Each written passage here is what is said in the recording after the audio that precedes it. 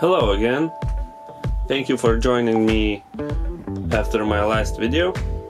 And today we have a white box. It doesn't say any name on it, but I know that this box is from Mundorf.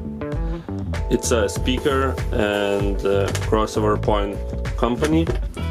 They make only AMT tweeters and other crossover components like capacitors, resistors, coils and so on.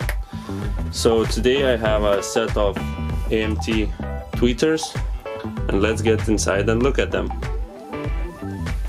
So as I said, the box is pretty straightforward. Not a lot of information. And in the inside we are greeted with some handling instructions because these have a really strong neodymium magnet. They say to remove them carefully. So look let's look at them.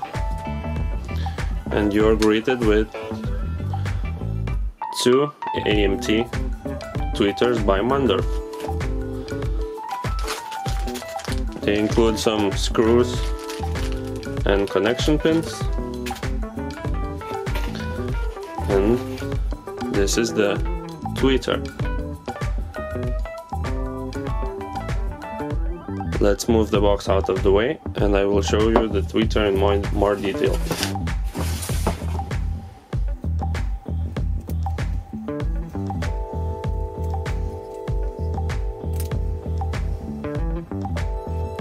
So this is the tweeter. As you can see you have a lot of surface area. This is a different kind of tweeters and I will explain why. As I said, they are different from uh, regular dome tweeters.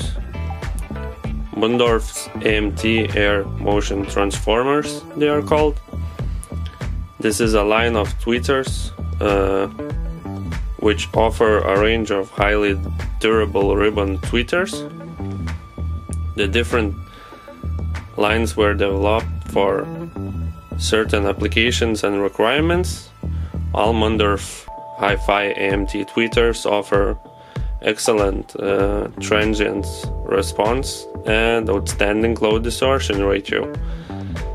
The difference lie mainly in their frequency range sound pressure levels, and dispersion angles.